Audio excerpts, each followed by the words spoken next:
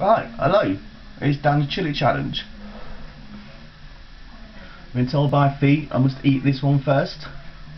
So, here goes.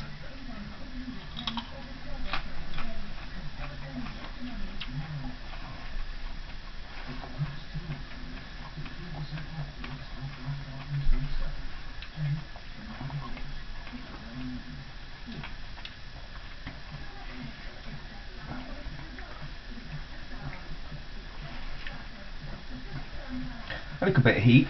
I don't think that one's quite right. Not particularly flavoursome. So, here goes number two.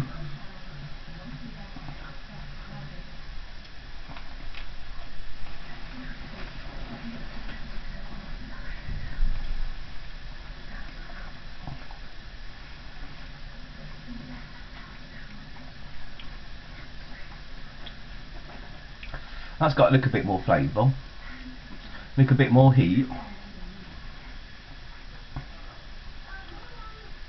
But nothing special.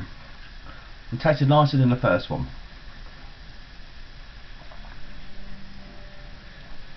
No milk needed for this challenge. This is what I'm doing at the same time.